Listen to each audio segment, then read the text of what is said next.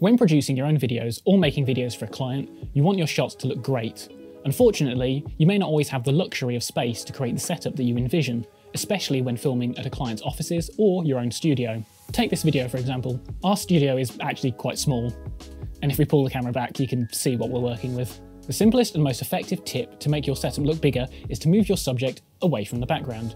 You'll find this tip in every tutorial on this topic, so here are some more specific tips. Make use of the depth of field and focal length on your lens. Pick a focal length that either hides obvious identifiers of the size of your room or enhances its scale. If you have a lens with a long focal length, use it to hide features that show the size of your space, for example, side walls, uh, and this is more of a standard setup that you'll see on YouTube or interview videos. If you have a wide angle lens, use it to enhance the scale of the scene. Move your subject even closer, making use of the wide field of view.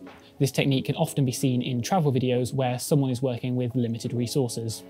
With both lenses, try to stop them up as much as possible to create a shallow depth of field. This will obscure your background and make it harder to gauge the scale of your setup. Get interesting objects in your background. This can be as simple as using an LED light to give you a coloured backdrop, which is an ultra compact way of adding some interest. If you have slightly more space, you can try dropping objects into the back, a desk with a computer, a light, a pot plant, just get something in there. A tip you'll see floating around currently is the just use an AI set extension tip. This is a solid tip, but isn't a complete solution for everybody. First, you need access to software with generative AI capabilities like Photoshop.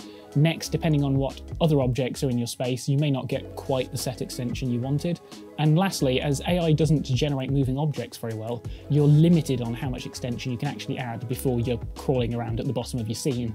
If you want to stay central, you may find yourself adding objects into the foreground, like tables, to hide the fact that you've got no legs. We're not AI haters though, it's definitely a good tip, but it's the final tip in a chain of steps rather than an overall solution. I hope that helps you to get your setups looking better. Don't forget to like and subscribe if you found the video useful, and if you didn't, then leave us a comment below with your tips for making a setup look bigger.